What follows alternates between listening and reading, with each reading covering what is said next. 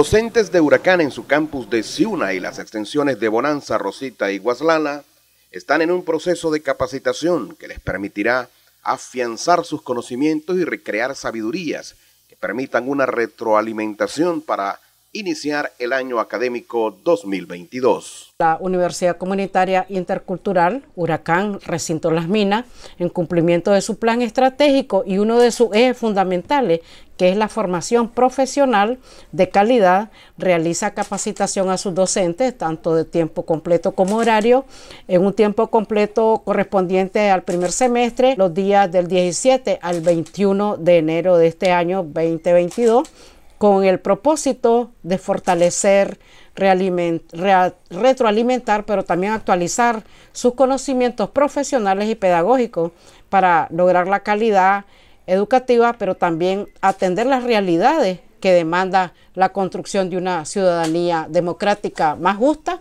y equitativa y sobre todo una ciudadanía intercultural.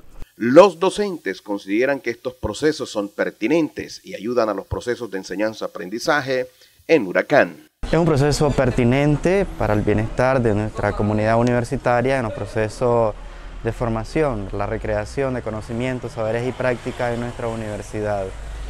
Semestre a semestre, el claustro de docentes estamos en constante capacitación, en constante diálogo, donde podemos crear nuevas capacidades, podemos innovar nuevas metodologías para poder recrear el conocimiento con la comunidad estudiantil que es la parte medular por la cual nosotros nos formamos, nosotros nos actualizamos con temas de innovación que viene a fortalecer los procesos de enseñanza-aprendizaje.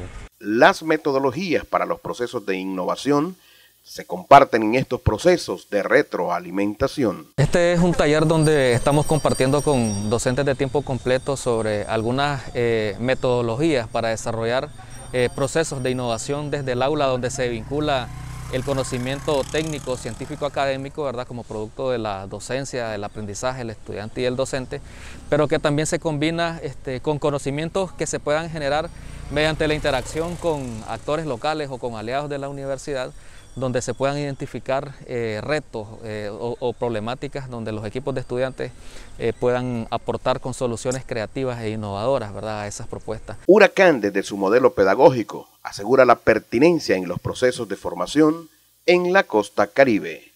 En Huracán, José Gard. Huracán, la primera universidad comunitaria intercultural en América Latina.